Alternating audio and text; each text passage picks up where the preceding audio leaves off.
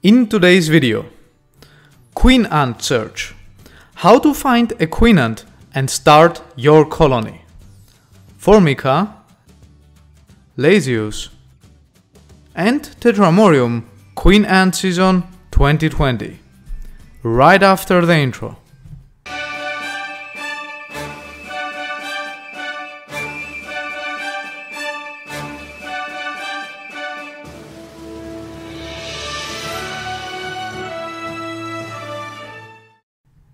Hello and welcome to another Ants Vienna video everybody. If you are new to the channel, here we cover all aspects of the ant keeping hobby. However, the most important asset to get your own ant colony started is a queen ant. About a month ago, I made a video on searching and catching queen ants with a special focus on Camponotus species queens. Since you guys like that a lot, and many ant species have their nuptial flight season right now, I decided to make another outdoor video on how to catch a queen ant. However, this time around we'll be focusing on queens of the species Formica, Lasius and Tetramorium. If you are new here, make sure to subscribe and hit all notifications on that bell icon so you don't miss any nuptial flight updates. And if you are a subscriber, then I won't keep you waiting any longer. As always, be kind enough to smash that thumbs up button to let me and the YouTube algorithm know you like my video and share it with your friends. As you can see, today is another sunny day here in Vienna, Austria. The thermometer is at 33 degrees Celsius and it is quite humid since it rained yesterday. These are almost perfect conditions to find queens, so it would be a shame for us not to take a walk and have a look. While I am walking, Quick disclaimer to newcomers, if you want to know more about the ant life cycle, you should have a look at this video. There, I also explain how queen ants are born, which essentially marks the start of every queen ant season. Okay, now do you remember how I was looking for Camponotus queen ants last time? Yes, I am talking about that stop, look around, making a few steps only to stop again, look again, and so on. That technique is specifically good for searching Camponotus queen ants, but forget about it when looking for other species. I will now let you know the methods that worked best for me in order to track queens of different species. Let's start with Formica queens. They are pretty agile for queen ants, have good vision and are always on the go. So, the best way to get your hands on a Formica queen ant is to keep walking straight and looking a few meters ahead of you, since the moment a Formica queen spots you or your shadow, she is going to start running even faster than she normally does. Whoa, speaking of Formica, this is what I meant with fast. She's pulling no stops here, guys. Looks like some kind of Serviformica species. Got to catch her quickly. There you have her. I was actually so excited that I forgot to record her in between. So, this footage is from the next day. She indeed turned out as a Formica cunicularia queen, which is a fully claustral species, and she already laid a couple of eggs. A beautiful sample of a queen ant. She is also the one in this picture. I like how she looks that much that I'm probably going to use that pic as a thumbnail. Okay, back to our walk now. Before you go thinking, I am drunk, walking like this, let me tell you that that's another search technique. One I use to spot Tetramorium and Lasius queen ants. For them, I duck once every couple of steps to have a better look on the ground. Lasius and Tetramorium are both smaller than Formica and way smaller than Camponotus queens.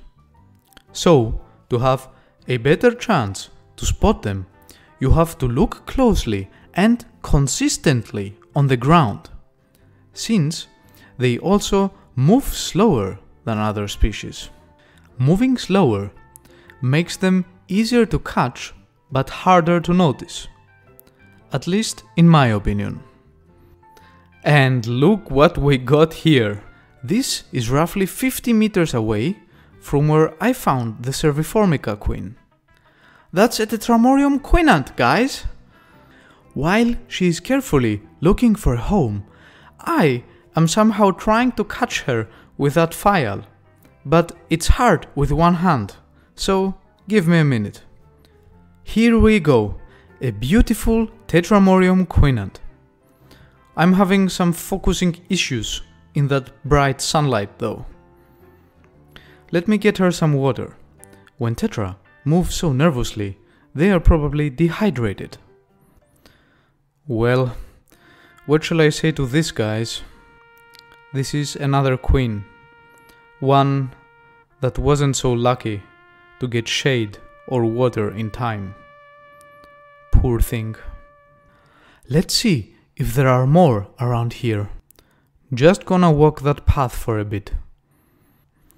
So, when I take walks looking for queen ants, I use a combination of these search techniques that I am now sharing with you. And while walking like this may look a bit odd, I don't really mind what other people think of me. Actually, I was lately discussing this with someone from our Ants Vienna Discord server. By the way, feel free to join. I will pack a link in the video's description. So, he was telling me that in case he sees a queen ant on the ground in front of him, he would quit picking it up if somebody sees him. Can you believe that? While I can understand his reasoning, I myself don't hesitate picking up queens, even if that means kneeling in front of a few dozen people in the town center. I've already done this twice, in fact. I always enjoy the different reactions in people's faces. okay, we have to cut out that idle chat for now because I found another queen ant. Looks like exactly like the last one.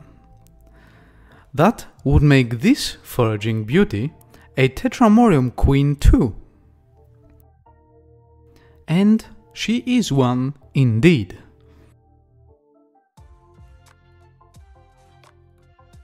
Finally, since that was my lucky day, I decided to take another stroll in the evening as well.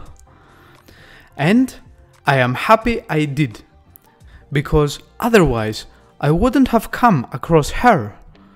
You don't get to see that every day. She just landed and is trying to shed her wings. Can you guess what species this queen belongs to? Let me give you a little hint she is a parasitic queen ant. Contrary to fully or semi-claustral queens, parasitic ones try to take over an existing ant colony. Depending on the species, the parasitic queen will infiltrate the host colony by adjusting to their smell, which they usually gain by killing a worker ant. After that, they either try to kill the host colony's queen directly or even convince the workers to kill their original queen themselves. Only after the parasite has taken over will she start laying eggs of her own. So, did you guess the species by now? If not, I've got another hint for you. She belongs to the genus Lasius. Okay, time to spill it. Three, two, one. She's a Lasius umbratus queen. I've been looking and trying to catch a parasitic queen ant for a while now. So, catching her too after that successful queen ant hunting day truly boosted my spirit. What happened after I caught her, you ask? That you will see in another video. I hope you enjoyed our queen ant hunting tour today. Let me know with a thumbs up if you did and share the video with your friends. Have you found and or caught any queens this queen ant season? Let me know in the comments. So just a quick recap that may help you out. Depending on what species is currently having its nuptial flight, you need to adjust the way you search for queen ants. For Camponotus, take a few steps, make a stop, look around you, and repeat.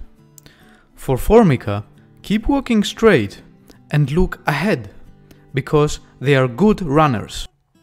And finally, for Lasius and Tetramorium queen ants, you want to spend a few seconds looking at the same spot closely in order to spot them.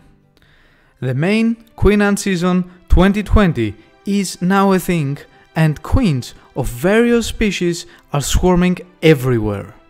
I hope my tips I share with you in this video help you catch your first or some more queen ants. And remember, if you need help in identifying the queen ant you just caught, feel free to join our Discord. We gladly help each other out both in species identification and ant care tips. Okay, that was it for today, fellow ant enthusiasts.